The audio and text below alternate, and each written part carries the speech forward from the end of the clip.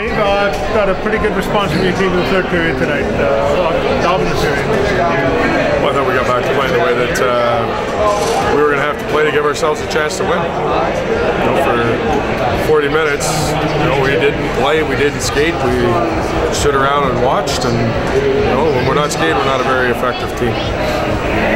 She suggests that uh, the Royals took the uh, Tigers record uh, for granted and, and didn't skate for that reason? I wouldn't say that at all. I think that uh, you know they came, they played hard, and and uh, we have to remember, right? Non-conference game on a Tuesday night after a big emotional weekend. We knew that there was going to be a chance for that, and you know our guys say I give them credit. They found a way to keep it close, and they found a way to win in the third.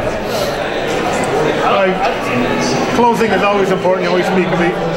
You got to close strong, and you got to be happy with the way the guys, like you said, close strong. Well, I didn't like the first 40 minutes. No, no, I mean and- closed. Oh, I know that, and, and uh, you know, I like the way that we were able to stay with it, and the way that we started, and the way that we played in the third. Uh, what changed was the uh, second intermission and something you set the dressing room or, or somebody in the team set the dressing room? I think the leadership group stepped up and took charge. You know, they they know that we have certain standards, and for us to be successful, we have to play to them. And for 40 minutes, we weren't playing to the level that we have to play to give ourselves a chance to win. So uh, Joe Hicketts um, stood up uh, as per usual. Well, he's gone for uh, Team Canada the selection camp. Uh, I'm looking forward to step up. Rest of the defensemen and our whole team. You know, I think the big thing is is lessons should have been learned last year that he, he's an important part, and when when he's not here, it's just like when he was injured. Guys have to take advantage of opportunities that are going to be presented for them.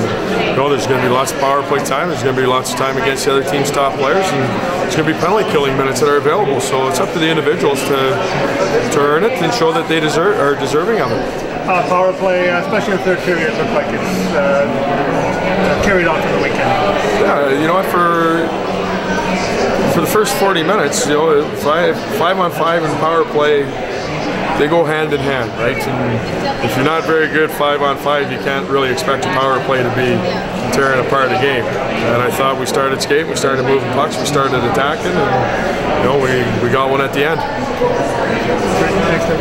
What was behind the uh, line changes in the second there? You, you juggled your lines up a little bit towards the end of the period. Was that just because there's a couple penalties? Or? That's because I didn't like the way some guys were playing. You know, I thought that uh, you take two unnecessary penalties, you don't deserve to continue to play, and that's part of our standards, right? Guys, guys are held accountable, and if you can go out and take needless penalties and continue to take needless penalties and continue to get ice time, you'll never learn.